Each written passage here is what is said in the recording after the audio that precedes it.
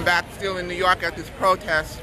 But I just want to remind people, and somebody reminded me of this today, that during the Iranian hostage crisis in which um, the Iranian people uh, held Americans hostage over its support of, at that time, the Shah of Iran.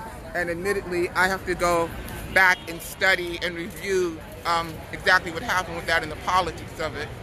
But it's just really important to know this much, that during that time, they let the black hostages go and the female, the women hostages. They let them go. And they let the black hostages go because they said that black people are oppressed in the United States and they did not want to contribute to that oppression. We need to know this. We need to know this.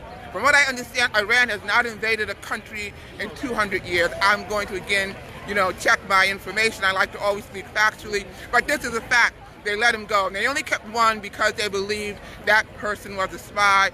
And I'm not exactly sure about the women, but they would not, if they thought that you were a spy or actively engaged in spy activities for the U.S., they did not let you go. But they did release black people. They made that strong political statement and they released women. You know, the country that supposedly has no respect for women, that has probably respected women far better than the U.S. ever has, they let them go.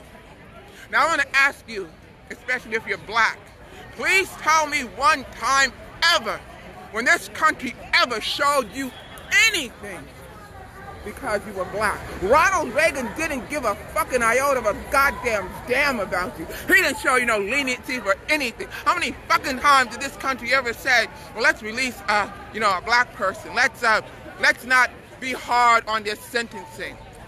You know, let's release some of these black political prisoners. Never, never. But Iran did, okay? Iran